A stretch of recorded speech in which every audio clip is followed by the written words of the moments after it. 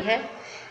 हमारे स्कूल में नल नहीं है बाथरूम नहीं है लैट्रिन नहीं है हम दूसरे के नल पे जाते हैं वो सब लोग हमें भगाते हैं इसीलिए हमें दिक्कत होती है। तो आपके स्कूल से कोई प्रयास हुआ लैट्रिन बनने के लिए और हैंडपम्प बनने के लिए? हमारी मैम लिख के दी थी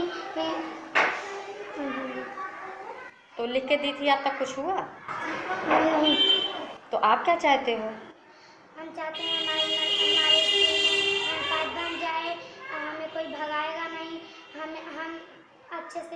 बैठ के पढ़ेंगे। जब से आए हैं यहाँ तब से ध्वस्त पड़ा हुआ है, उसमें पानी बिल्कुल नहीं आए हैं, तभी से नहीं पानी आ रहा और बच्चे हमारे गाँव में जाते हैं, वहाँ जो है, जिसके नल पे जाएँगे, वो भी अपना डांट के भगा देता है, लेकिन फिर भी बच्चे जाते हैं, बच्चे कहाँ जाएँगे?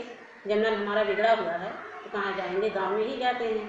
यहाँ जो भी आया है, सबसे हमने शिकायत की, रेडियो पंचायत आए थे, दो बार, वो लिख के लेके गए हैं कि हाँ बन जाएगा, लेकिन अभी तक कोई पॉजिटिव लेके नहीं रिज़ल्ट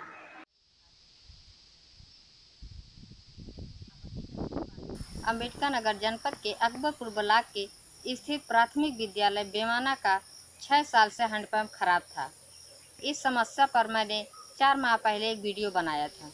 वीडियो बनाने के बाद उस वीडियो के माध्यम से समुदाय को संगठित व जागरूक कर आज इस समस्या पर बदलाव ला पाई अब हमारे स्कूल में हैंड पाइप लग लग रहा है इसलिए अब हम हम लोग को दिक्कत नहीं होगी।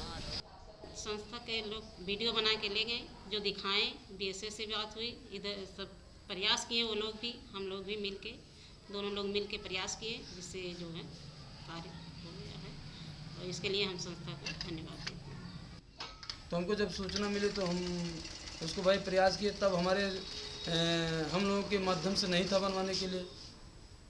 बनवाने के लिए, लेकिन जब शासन की मंशा के अनुरूप हम लोगों को दिशा निर्देश मिला, हम लोग ग्राम पंचायत को मिला तो ग्राम पंचायत के माध्यम से फिर हमने उसको बनवा दिया, रिबोर करवा दिया।